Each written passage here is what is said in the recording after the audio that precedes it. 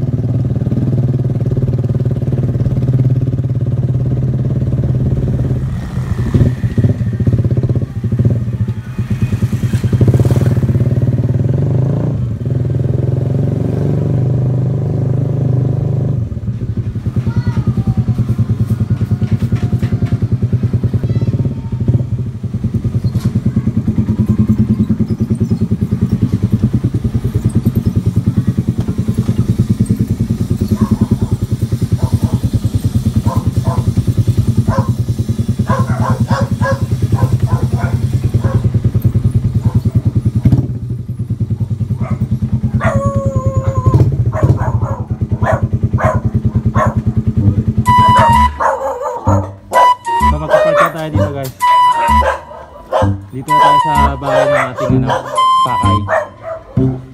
Dito na lang to bro. Pwede rito? Pwede dyan. Pwede dito na lang. Dito na lang. Masang kaso dito yan. Ayun, yung ating tropa dito. Kuya Raul Reyes, uh, nakaro tayo, nakabisi tayo ngayon. So dada, dadalaw tayo sa kanya, titingnan natin yung bagong bago niyang Aerox. Okay, magpa-park lang muna tayo dito guys. So panoorin yung aming i-vlog. Uh, diyan ka muna Paloma. Busy ka ba? Ay, titira ba yan? Ano ba to? Hindi mo mananakmal yan? Oo, may anak nga yun. Patay tayo dyan. Pasukay mo dun. Ha? Islim na islim ang motor na yun. no? Baka manakmal to. Hindi, hindi. Ayun guys, so napaka-busy ni Kuya Raul ngayon. Marami siyang nasikaso dito sa kanilang bahay. Nagbe-welding siya ng ano yan brother? Gate? Yun, so tinitira niya yung gate. Okay lang, okay lang. Okay lang. Pero sa mamaya sisilipin natin yung kanyang Aerox. Ayun oh, kita nyo ba guys? Ayun oh. Kukunin lang natin ang video tapos ah idadub na lang natin. Habang kinukuha natin ng video, habang piniplay yung video, nakadub na lang. Kasi siyempre, busy rin naman si Kuya Raul. Okay, so balikan namin kayo mamaya guys. Bye-bye.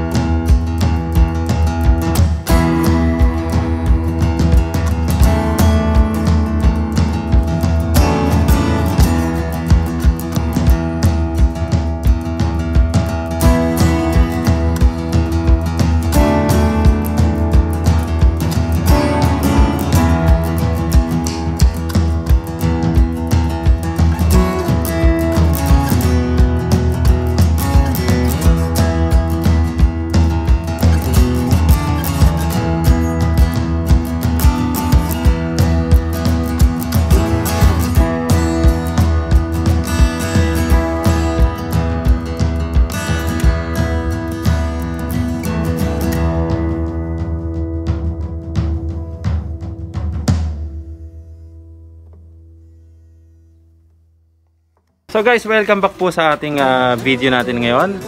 Ah, kausapin lang natin sandali yung may-ari ng ating ah, kinukuha ng ng video na Aerox, si Kuya Raul Reyes, si Brother Raul.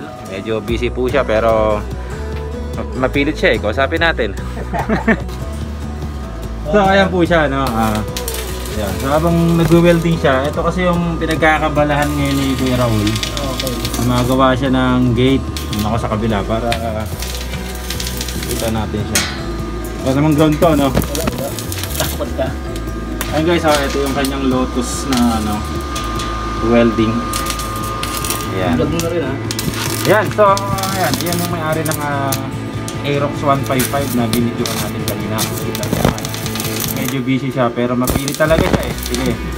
Tanungin na lang natin, Kuya Raul, kamusta naman ang ah, motor natin, ang Aerox Yamaha 155 natin? Maikling ano lang, maikling mensahe lang. Kamusta naman? Wala akong masabi. hindi ko alam. Paano eh, hindi ko pa naman na ano yan eh. Okay naman yan. Mm, Yung quality at yung branded naman siya eh. alright. Ah, So, ano naman, may sabi may pakinabang naman talaga siya, eh, no? Siyempre, ah, pag ano, eh, natural na service. Service, sa tama, oh. So, isa yun sa mga dahilan guys, ba't kumuha tayo ng motor is yung ah, ating service sa araw-araw, kung may pupuntahan tayo, malayo malapit, iwas traffic. Tama, tama. No? So, mga ilang buwan na sa iyo, Kuya Raul? 3 months, 2 months pa lang siguro. Ayun. Two months so, para sa kalaman ng mga viewers natin. So, two months yung Aerox natin. Bagong version kasi ng Aerox yan guys, eh, yung tinatawag na Mio Aerox 155. So, napakaraming features niya, no? Kuya Raul, ABS din, ano?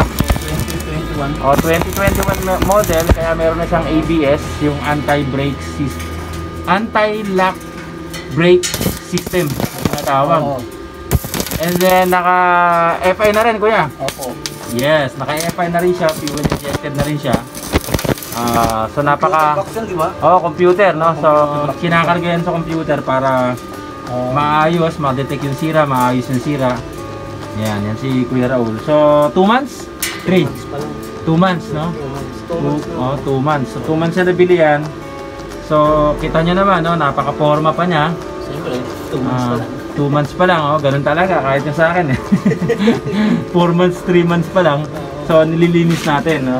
So, tayo ay uh, noon pa, mahilig tayo sa motor. Yes, oo nga pala, no? Kung hindi nyo na itatanong, guys, ah, Tayo, nagkaroon. Oo, nagmo-motor na kami ni Kuya Raul. San-san na rin kami nakakarating. Marami na rin, marami ka na rin motor na ano eh, no? Oo. Na nahawakan, no? Oo, na, mas, mas convenient ako ngayon dito. oh, yun, oo. Yun. Kasi mas, ma- mas, mas madaling eh, i-drive to. Mas ah, panis, kumbaga. Pero bago siya nagkaroon ng ano, 1.5 na Aero, nagkaroon muna siya ng pinakauna ay ano, no? Yung lipan. Oo, lipan, lipan, no? Yes, so nga pala guys, ito yung kinukwento ko sa inyo guys. Kasi nag-vlog ako Kuya Raul dati, kinuwento ko kung paano ako nagsimula magmotor. Oo. Sabi ko may kasama lang akong isang kaibigan. Tinuruan niya lang ako kung paano i-drive yung lipan. Lipan din kasing motor niya. Oo. Kaya tinanong niya pa ako, Brad, marunong ka ba mag-drive? Sabi ko hindi eh, turo mo na sa akin yung basic. At ito na nga yun, si Kuya Raul nga yung nagturo sa akin nun guys. Kaya natuto tayo. So ito yon yung uh, kinakwento ko sa inyo dati. Para sa inyo dati ng lipan. Kasama yung utol ko, na? Kuya Res, Tama, tama. oo. Tatlo kami guys, na tatlo kaming nakalipan. Utol ko, si Res TV, siyempre ako, saka si Kuya Raul. Anyway, so yun nga, no? So si Kuya Raul yung isa sa mga nagturo sa atin kung paano ma umano. Kasi nakita natin yung motor niya dati lipan, napakaganda, dilaw. dilaw yun, di ba? Oo, ako Ah, pula. may clutch na, may clutch. Oh, may clutch. Oh, yun, yun. So, the clutch kasi yung talagang sinadjust niya sa akin. Saka gusto ko rin talaga the clutch matuto. Oo, Oh. tama. Guruin mo naman, di ba Kuya Rol, no? Kung ah, i-share lang na, i-share ko lang ulit sa kanila.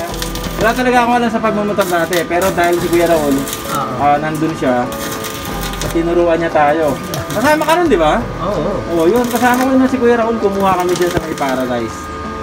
Ayan, so isa yan sa mga dahilan ba tayo natutong mag drive. Oh, yes, lipanan pangalawa yung yung ano, yung Fury. Lucy. Ah, Hindi, nag- nag- nag- Nag-Rusi ka muna. Nag-Rusi ka muna, sprinter. Nag-Rusi muna tayo. Yes, ah, si Kuya Res. ka ba? Hindi, si Kuya Res, saka ikaw. Oh, tapos Rusi. nag... Nag-Yamaha, ah, nag-ano na ako, Yamaha. Yamaha X1. Okay, nagkano ka na nun. Hmm. Ano. Ayun, so yun nga, ah, after niyang lipan, ako lipan din, siya naman nag-Rusi na Sprinter 150 Rusi, no? Ako naman, ang gamit ko nun ay Yamaha X1. Ito na guys yung binablog ko dati. So, ito katibayan na totoo yung mga sinasabi natin dati. Tapos si Kuya Raul, Sprinter. Oo, kita naman. Pangatlong motor naman niya, Fury. Fury na. Oh, Fury ako, nakastick ako sa Dami ng X1. pinag- Dami ng pinagdaan. Oo. Tapos, yung yung utol ko naman nag ano nag Kawasaki. Ano, ano naman? Kawasaki ano siya? Yung Rouser Oh, 135. Diba? So yun yung mga history ng aming pagmamotor. sa tagal na nun, Hmm. mga 2000, um, ano na yun eh, 2005 na yun? Tagal na, oo. So, hindi lang. ah. Hindi, 2005 ako ano eh. 2005 ako nag 2007 na yata ako nag ay hindi, nag-raider ako noon 2007. Oo, palagay ko. Oh, mga year 2003, mga ganon. Oo, mga tama. Yun. Tapos sunod na motor ni Kuya Raul, bago et, bago nga yung mga yon. Yan na yan, Brad. Dami na, no? Ang dami na, ano? Lipan. Sprinter Rusi. Tapos, Fury. Fury. Ayun, Fury. Tapos itong na, yung nasa bahay na ano. Oo, ayan na yan. Ano ba ito pangalan? Yung Euro. Euro. Oh, Eurostar. Euro. Euro Motor. Eurostore. Euro, Euro. Pang-apat. Ito, ito na. Tapos eto na yan. Yung yun natin. Yung binlag natin ngayon. 155. Sa palagi ko naman, sulit na sulit. Kung marami kayong mga tanong guys, pwede kayong mag-comment. Just type uh, down below and then sasagutin namin yan sa mga susunod na vlog. Ayan, ah, Then- vlog na, ano natin si... Yes, yes. Ano masasabi mo Kuya Raul? Okay lang. Ayos Pa-promote lang. Thank naman. you, ah. Thank you, ah. Binablog mo yung motor ko. Ayun. Yan. Dati kasi natin kapatiran to eh. Siya kapatid pa rin ako, hindi. Katiwalag na ako eh. Si ano yan? Ah, Kita Yan. na tayo. Oo, kita tayo. Labo na yung mata mo. Oo nga, yun eh. Nag-welding kasi. Ah, ayan. So yun, pagkatapos niya, niya patapos niya palang mag ano, mag Fury, tapos mag uh, Motorstar, Euro. Eto na, nag-stick na siya dyan. Tapos ako naman, medyo na matagal din ako nawala sa pagmumotor after ko mag-raider. 10 years ago, bago ako nakakuha ulit ng raider. At ito na nga yung ginagamit natin. Bumalik ka dyan. Ngayon. Bumalik ka ulit doon. Sa Raider mo. Oo, bumalik so, ako. Pag nagpalit ka lang at then, Suzuki. Mm, stick talaga ako sa raider kasi alam ko na yung takbuhan talaga ng Clutch eh, raider. talaga. Oo. Convenient naman talaga Oo. may clutch. yun, sa kanya na, siya na rin ang nagsabi. Oh. Oo, totoo yun. Ayan. Na wala siyang tipo bang ano na mas safety siya. Mas safe. No? Ah, mas safety siya pag may Tama, tama. So, ayan, no? Convince lang kasi ako ni tropa ni Bong na kaibigan niya. ko. Pero dapat ano eh, Yun. dapat nga talaga ang kunin ko sana ano ah, sniper. Oo, tama, oo, Oo. sniper. Kaya lang eh, may clutch yun. Gusto ko sana may clutch. Mhm. Kaya lang eh, na medyo na-pressure ako kay si Kibong. Yun. Kaya napakuha siya ng Aerox. Pero hindi naman siya ganong nagsisisi talaga. Oh, hindi naman. Kaya lang, kung mas papipiliin siya sa ngayon, mas May gusto clutch. niya, may clutch, no? Oo, may clutch. talaga. Yan, kasi alam nyo, matagal ng ah, driver to si Kuya Raul. Marami itong dinadrive. Mapa-clutch, automatic, kotse, kung ano-ano pa. Kahit anong klase, kotse man Yan. yan, kailangan may clutch. ang- Maganda ang clutch Advantage talaga, no? So guys, for the record guys, no? For the record, isa sa mga professional na driver natin ang nagsasabi, kung kukuha ka ng motor, Oo. declutch. clutch talaga. Oh, declutch talaga. Kahit kotse. Hmm, diba? Kahit may kotse, kahit kotse, hindi dapat automatic. Oh, yan ang sinasabi ko sa inyo guys noon pa. Kaya huwag kayong iyak-iyak dyan pag sinabi ko na mas maganda gumamit ng declutch. Totoo yun. Oh, yan. Oo. Yan, isang professional na driver na nagsasabi.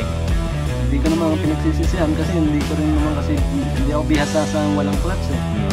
Pero inaaral mo naman siya, eh, no? Oo, naalang.